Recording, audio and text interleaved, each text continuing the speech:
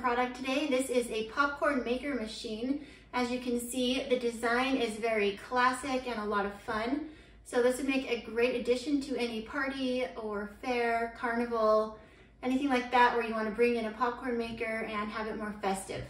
It also would be a really fun and unique gift idea. So it has some great features. It has the pot and right up here there's a button.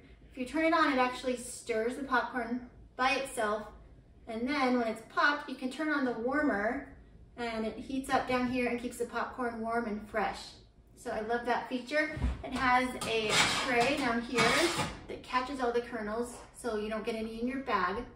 And this does have a 95% popping rate, so you won't have a lot of leftover kernels. It pops 10 cups of popcorn, so you've got enough to feed all your friends. And it also comes with a bunch of accessories, which is cool. I love how they have this door here so you can store everything with it. So it comes with some popcorn holders. These are like hard plastic, so reusable.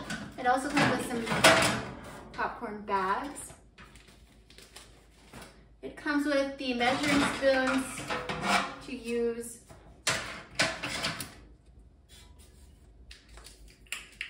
So it comes with the measuring spoons that you need to use to measure the popcorn and a fun little scoop to scoop it up and put it into the containers. So everything that you need to have a popcorn party. I also love that it's on wheels, nice big wheels, so it's easy to move around where you want to take it. This is much easier than popping popcorn on the stove because pretty much just turn it on and it does everything for you. So I'm gonna go ahead and get my kids. They're really excited to try this out. So we will try it out and show you. Okay, we're gonna start up this machine here. I'll show you how it works. You open the door, you lift up the lid for the pot. You put in two tablespoons of oil and a half a cup of popcorn seeds.